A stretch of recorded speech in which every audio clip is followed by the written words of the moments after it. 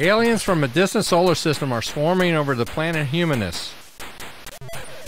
They're kidnapping humanoids and mutating them into a permanent part of their alien force. Oh man, well, that makes you the captain of the spaceship Defender. And your mission is to destroy the aliens before all of the humanoids are transformed into mutants.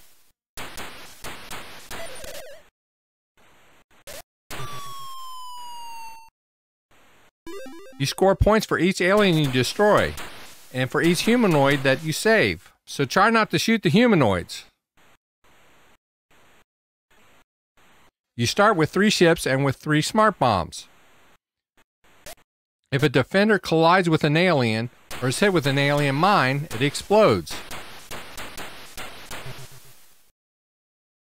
The number of lives and number of smart bombs are displayed at the upper portion of the screen. The aliens attack in waves, each becoming more difficult. The alien force is comprised of different types of ships landers, bombers, swarmers, baiters, mutants, and pods, all having different point values. Now, the landers appear first. They kidnap humanoids. If you can destroy the lander while they have the humanoid, and the humanoid falls to the planet, you get 500 points, plus 150 points for shooting the lander. But if you can capture the humanoid and return him safely to the planet, you get a thousand points. Now the bombers, they land mines to trap you. Swarmers are housed in pods. They're released several at a time. Each time a pod is destroyed. I hate those things. Now baiters appear at the end of each wave especially if you're taking too long to complete a level, and they move fast. If a lander captures a humanoid and gets to the top of the screen, the humanoid turns into a mutant. Now the mutant will follow you and can be very annoying and difficult to destroy. A smart bomb destroys everything on the screen, but you'll want to use them sparingly. You only have three. Now you will get one with each 10,000 points along with another life.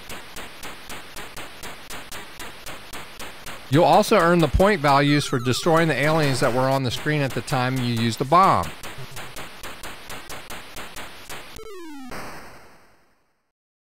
Hyperspace enables the defender to disappear and reappear back somewhere else on the screen.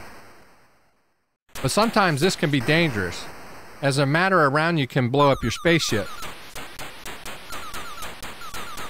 There's also a scanner at the top of the screen, which displays your position and the position of the aliens that you have to destroy. It definitely helps to know where they are sometimes, and the scanner can be useful. This game is fast paced.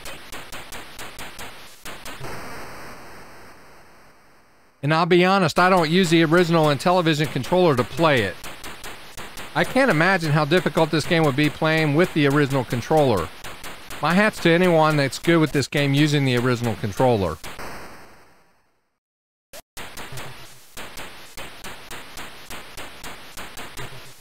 While it's not my favorite port of Defender, I do enjoy playing it and I think it's well done for the Intellivision. If I had to give it a rating, I'd give it a 3.5 stars for overall playability and presentation.